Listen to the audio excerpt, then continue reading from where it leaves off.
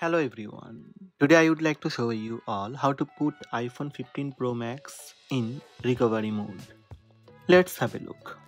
To enter recovery mode, you must connect your iPhone 15 Pro Max to your Mac or Windows PC with USB-C to USB-C cable. You may use the USB-C cable that comes with your iPhone 15 Pro Max. Connect your iPhone with PC using USB-C cable. Make sure your Mac is up to date. If you are using iTunes, make sure you have the latest version of iTunes. If this is the first time connecting your iPhone 15 Pro Max to Mac or Windows PC, you will need to tap the trust button that appears and enter your iPhone passcode.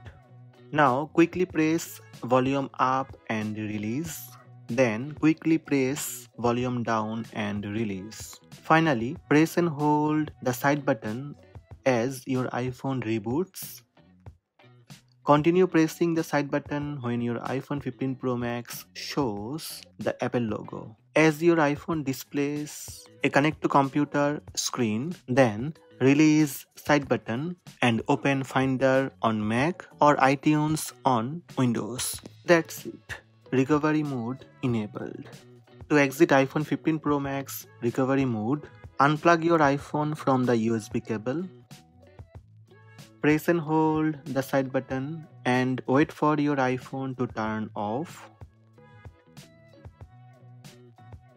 Then release side button. Again, press and hold side button until you see Apple logo. That's it. These are the steps to enter and exit recovery mode on iPhone 15 Pro Max. Hope this video help you. Please subscribe my channel by tap subscribe button. Also tap the bell icon to receive notifications about all new videos.